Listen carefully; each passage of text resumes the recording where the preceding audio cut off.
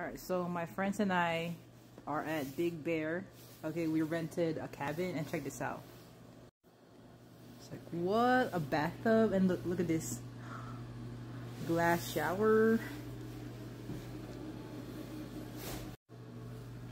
Loft bed bedroom. Check this out. What? This is the living room. That's crazy. Like it's giving me like some Harry Potter vibes. They got like, what is this? Um, I don't know what this is called, but yeah. Then they have like this um, poker whatever table, and then they got fireplace. Their kitchen.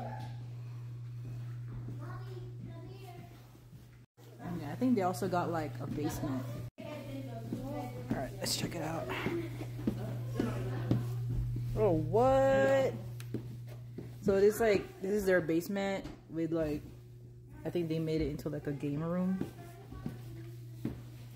Wow.